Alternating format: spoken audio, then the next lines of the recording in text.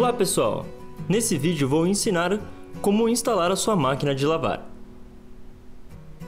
Desembalagem Primeiro, retire a cobertura de isopor e com a ajuda de outra pessoa, retire o produto da base de isopor. Utilize os pés para facilitar a remoção da base. Então, remova todos os plásticos e fitas adesivas. Agora abra a porta e retire os acessórios.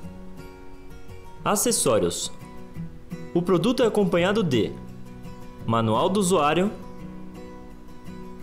termo de garantia, etiqueta Procel, mangueira de água, chave de nivelamento, guia da mangueira de drenagem, tampões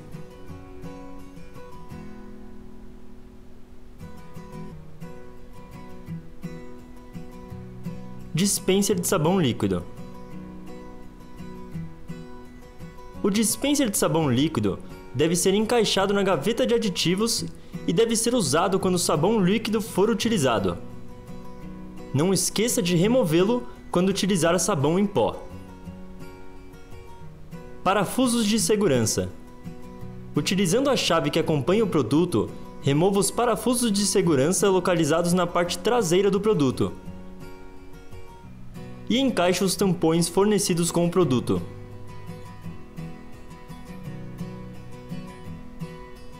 Mangueira de alimentação e drenagem.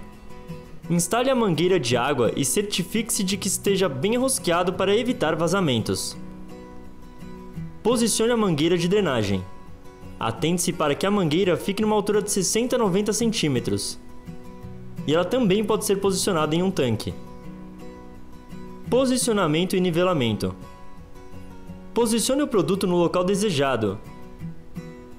E em seguida, utilizando a chave, ajuste os pés niveladores caso seja necessário. Utilize um nível para certificar-se de que o produto está bem nivelado. Mova o produto para verificar se há algum balanço. Se houver, faça novamente o nivelamento. Instalação elétrica.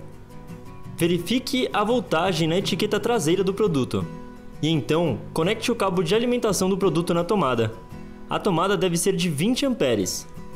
Lembre-se de não utilizar adaptadores benjamins ou extensões. Obrigado por assistir mais um vídeo Samsung. Tem mais dúvidas? Acesse nosso canal. Até mais!